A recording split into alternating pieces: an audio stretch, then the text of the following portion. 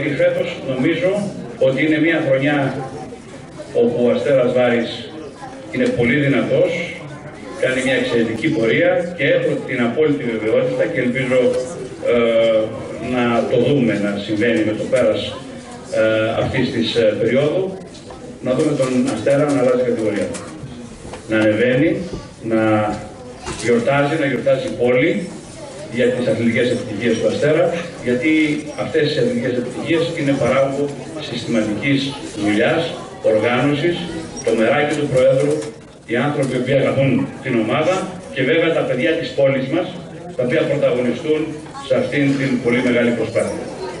Εμείς λοιπόν θα συνεχίσουμε να στηρίζουμε τον Αστέρα, όπως έχουμε κάνει μέχρι τώρα, πολύ εντατικά, πολύ οργανωμένα, όπως στηρίζουμε το σύνολο των ομάδων που δραστηριοποιούνται σε όλα τα αθλήματα και όχι μόνο στο ποδόσφαιρο, αλλά ειδικότερα τις ομάδες αυτές, προφανώς ο Αστέρας Βάρης είναι ο επικεφαλής σε αυτή τη λίστα ομάδων, που πρωταγωνιστούν. Ο Αστέρας λοιπόν πρωταγωνιστεί, ενώνει, ε, ε, στηρίζουμε αυτή την προσπάθεια, καλούμε κύριε Πρόεδρε, φίλε Δημήτρη, εσένα και τους ανθρώπους της ομάδας να φτιάξετε κάτι το οποίο πραγματικά και οι υπόλοιπες ομάδες της ε, Εψανά και της ευρύτερης περιοχής θα θέλουν να αντιγράψουν.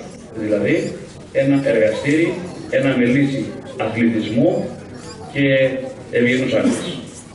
Ένα καλός έχει σε όλους τους γονείς της περιοχής που εμπιστεύονται τα παιδιά τους στη, από μικρή ηλικία σε αυτές τις κυψέλες αθλητισμού που έχει δημιουργήσει ο Αστέρας. Έχετε κάνει μια πολύ καλή και πολύ σωστή επιλογή και να τη συνεχίζετε.